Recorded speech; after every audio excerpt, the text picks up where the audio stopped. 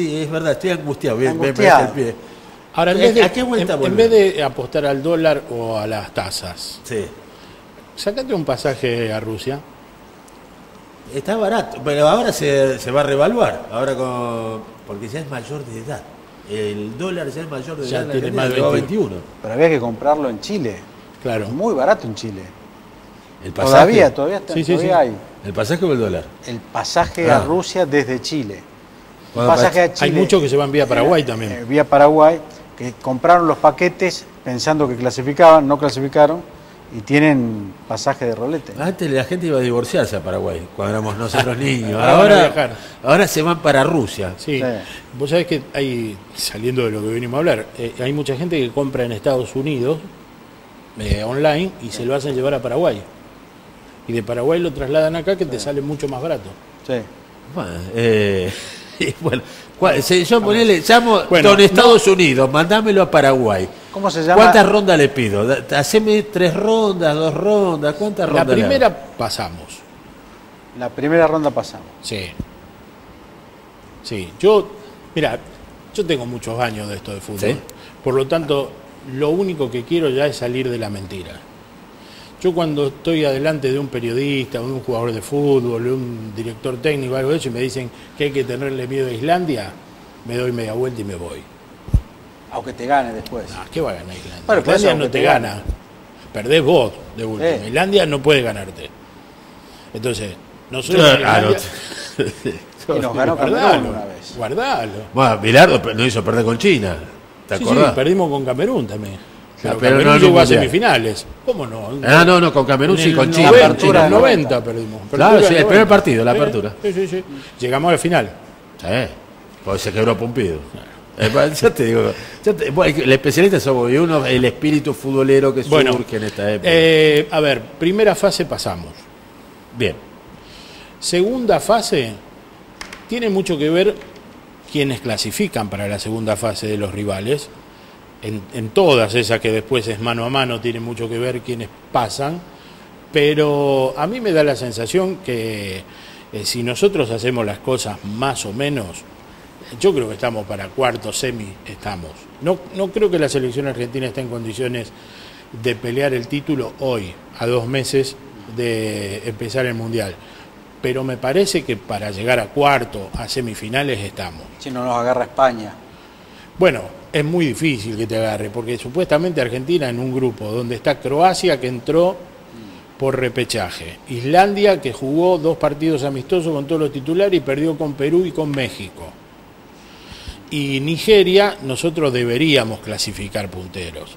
Ahora, vos me decís, mañana se nos lesiona, Agüero no llega, eh, no llega Higuaín, no, no, no, no- Icardi no, no la mete, Messi, bueno, ya es, es otra cosa.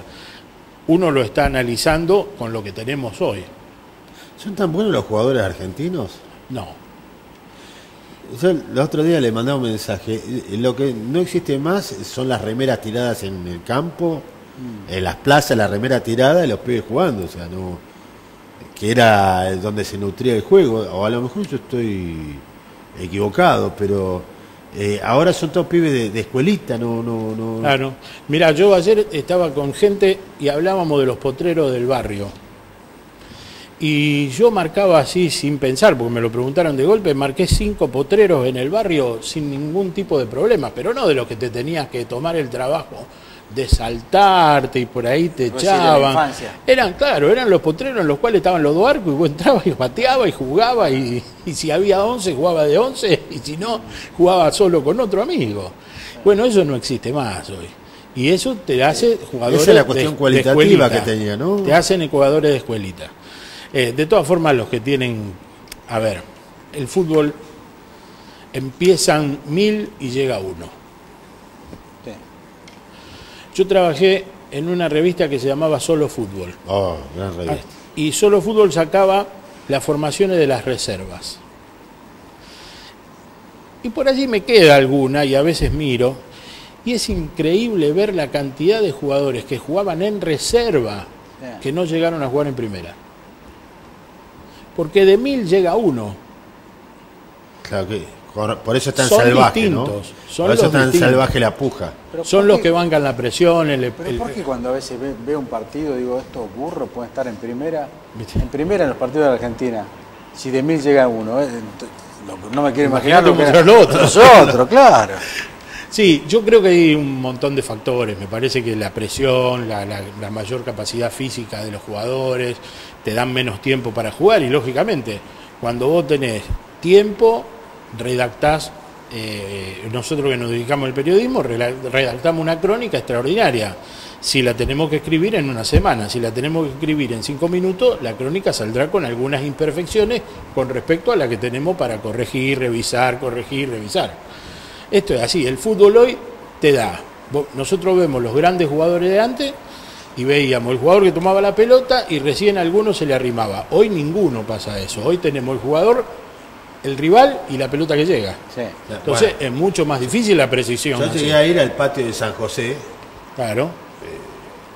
y veía las bestias que surgieron de ahí. Era un espectáculo, era el patio de San No me dejaban entrar a mí. Sí, sí, sí. Sí. Eh, Cabezón bueno jugaba, viste, Porque tenía problemas psicomotrices, yo para jugar al lado de ellos, pero eh, grandes jugadores se vieron allí. Hoy no existe más, ir a ver un espectáculo. Bueno, no existen lo que nos, cuando nosotros éramos chicos tenían Canal 3 y Canal 5, que eran los torneos de pibes los Sí, domingos de la los mañana. domingos de la mañana. en blanco y donde- negro y a lámpara. Salían muchos pibes. Ahora, fíjate que cuando ves la televisión, ves eh, partidos de España, algunos de Alemania, algunos de Inglaterra, parece PlayStation.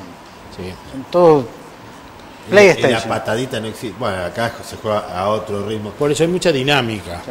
Eh, y acá en Rosario, eh, Newells, o el 8 de mayo, ¿pasa algo ahí? ¿Viste? Esto- El 8 de esto está mayo, decorado, ¿no? el 8 de mayo no va a haber asamblea. ¿Qué significa eso para Newells?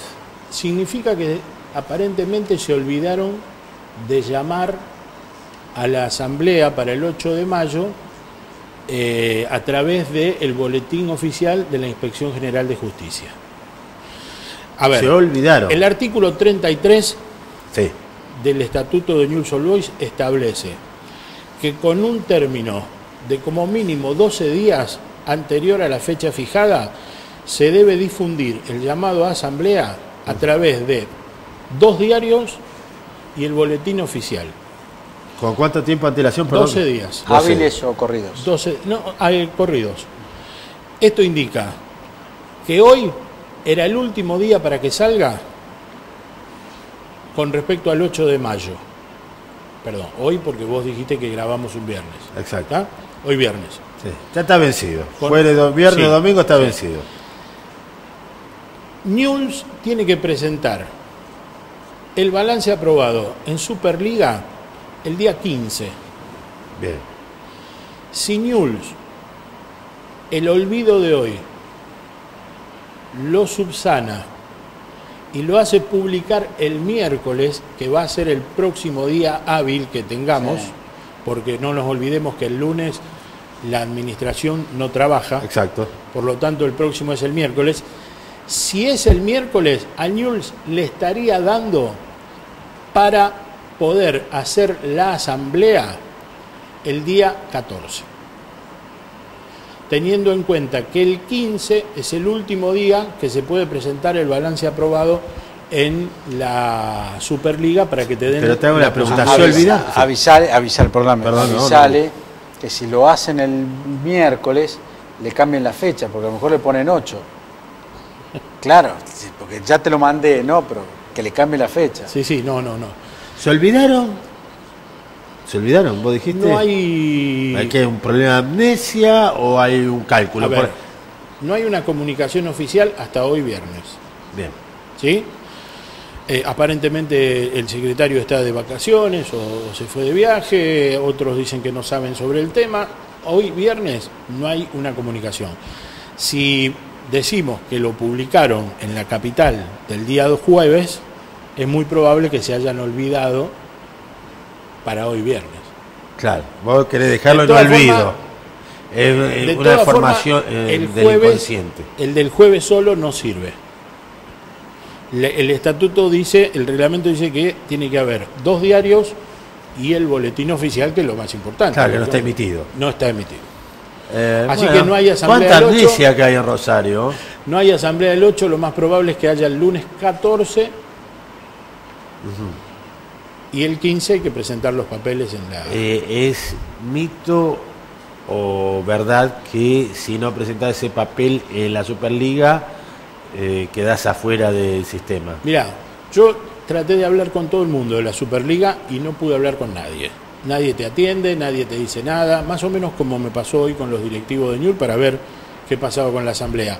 De todas formas, hablé con un dirigente opositor, que es Moresco, el doctor Moresco, que dice que tiene amigos eh, que hacen la parte legal de la Superliga y que le dijeron que si el 15 no está el balance aprobado, Newell's no tiene la habilitación para jugar el próximo torneo.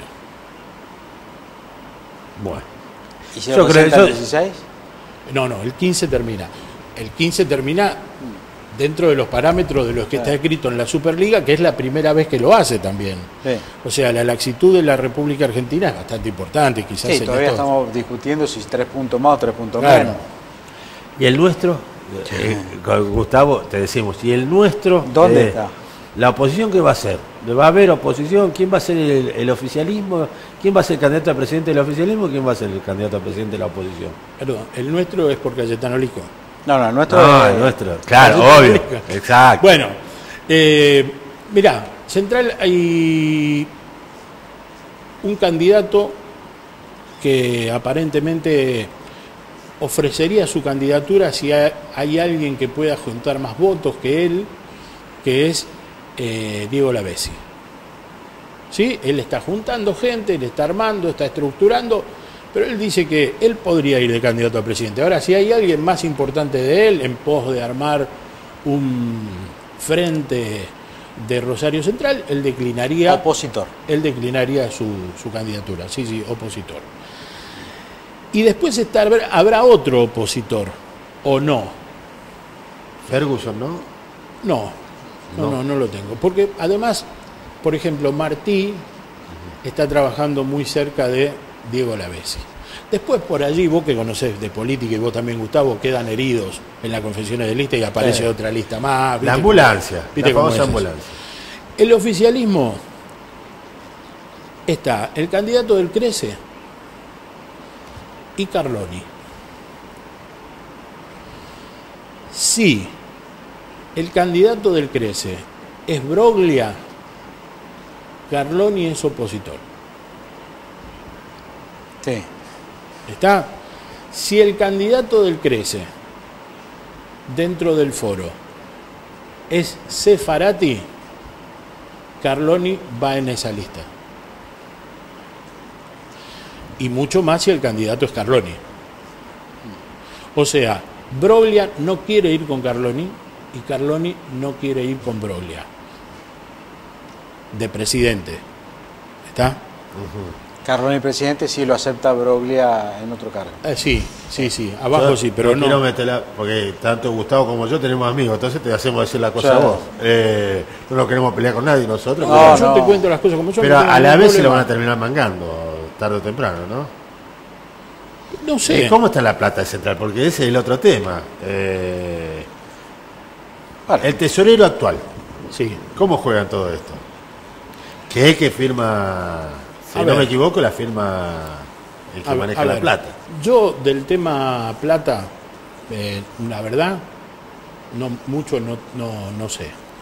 Eh, no sé porque como cualquier tipo común no sé leer balances, Pero, salvo que me lo Pero, expliquen. pero si suma, dice, "Veti- vendimos por 30 millones de dólares, a 21 son 600 y pico millones de mangos. Sí. Ahora, yo veo que en Central no hay problema con el plantel, Bien, no hay problema con los trabajadores, bien.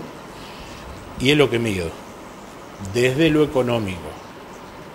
Desde lo futbolístico, que tiene que ver mucho con lo económico, a mí me parece que han cometido muchos errores, muchísimos errores, que no solo tienen que ver con la compra de determinados jugadores, también tienen que ver con la ida de determinados jugadores, también tienen que ver con no saber solucionar eh, problemas que se fueron presentando y que le fueron dándole a- al equipo de Rosario Central eh, tumbos en el camino. Y me parece que eso es lo más importante que tiene Rosario Central. Después, yo no digo que no haya problemas económicos, a lo mejor después saltan. Ustedes saben muy bien que los contadores dibujan de forma extraordinaria Sí. los balances. ¿eh? No hay ningún balance que no dé como un Yo también me acuerdo de Dylan Gisi. Bueno. Eh, Eh, Mañana como- va a jugar. Mañana juega contra Central. bueno, espero que no devuelva el favor que le hizo a River. o a Juve. Bueno, Eh. Dylan eh, es titular en Defensa y Justicia por sobre el chico que jugaba en River, que jugaba en Defensa y ahora juega en River, Barsol, no, bueno, el que jugaba ese hay un morocho alto, que jugó muy mal en el partido que Newell le ganó a River 3 a 1 allá. Y, y a mí me parece que el, de- el déficit más grande que tiene Rosario Central es el futbolístico. Bueno, eh, así que. Yo estoy en disidencia con lo que dicen los directivos. Los directivos dicen que tienen un gran plantel y yo creo que tienen un plantel muy pobre. eh, yo lo sabía decirte, como están las Y ustedes cosas. son hinchas, tienen que saber. eh, Y nosotros siempre creemos que somos los mejores. Sí. Argentina tiene los mejores jugadores. No. Central tiene los mejores jugadores. sí. ¿Y dónde lo demuestran? No, no, alguien se está equivocando. Ah, Bueno, te hago un regalo, Sergio, por tomarte el trabajo. Bien, estabas eh, saliendo de la radio, te Pero tomaste ustedes son la- amigos. Usted- de muchos años. Hemos ido hasta la cancha. vamos a hablar de política. ¿Eh? Ahí vamos a hablar de política. Hablábamos de política. Sí, sí, sí. Me acuerdo un gran título tuyo. al- a- es el momento de Alto Verde. Eh, un gran trabajador de prensa Muchas y un gracias. gran amigo. Esto, Muchas gracias. Para disfrutar de la gente sin culpa, un regalo que te hace llegar. Con la familia. ¿eh? Eh, así que bien psicoanalítico. para que la gente sepa, es pesadito, no es la bolsita No, sola. ¿eh? no, no, la gente sin culpa. eh, sí, eh, te esperamos la semana que viene, cualquier cosa. Total, salís de la Sí, radio y te si venís. ¿Me da otro sin culpa? Sí, por supuesto. Para eso ¿Eh? vengo, yo, yo- yo vengo para eso. Eh. No hay Bueno. ningún problema. Vamos a un corte comercial. ¿Me Vamos. dan permiso? Los dos amigos me dan permiso. Vamos a un corte comercial y seguimos en esta edición de la Divina Comedia.